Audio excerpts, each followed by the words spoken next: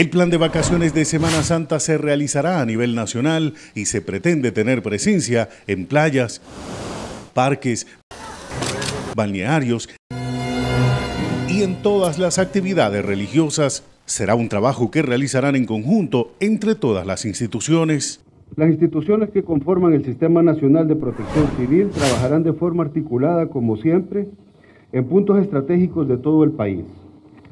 Es importante saber que tenemos estrategias para todos los diferentes puntos. Y nos encontramos pues ya listos y dispuestos a garantizarle, en el caso del viceministerio y las eh, diferentes instituciones que conforman eh, el Consejo Nacional de Seguridad Vial, la atención adecuada y la protección que los salvadoreños necesitamos para tener vías más seguras. El ministro de Salud dijo que todo el aparataje está listo para atender las emergencias que se registren. No solo en el tema sanitario, sino que también en todo lo que conlleva este periodo vacacional. Iniciando por eso decirle a la población y pedirle siempre la, encarecidamente a la población, tomemos todas las medidas necesarias para protegernos, tomemos todas las medidas necesarias específicamente con la manipulación de los alimentos para disminuir esas enfermedades gastrointestinales y diarreicas que pudiesen existir. Esperan que la afluencia de turistas aumente, por lo que existe una gran expectativa de parte de las autoridades de turismo. Estamos calculando que en nuestros 13 parques recreativos activos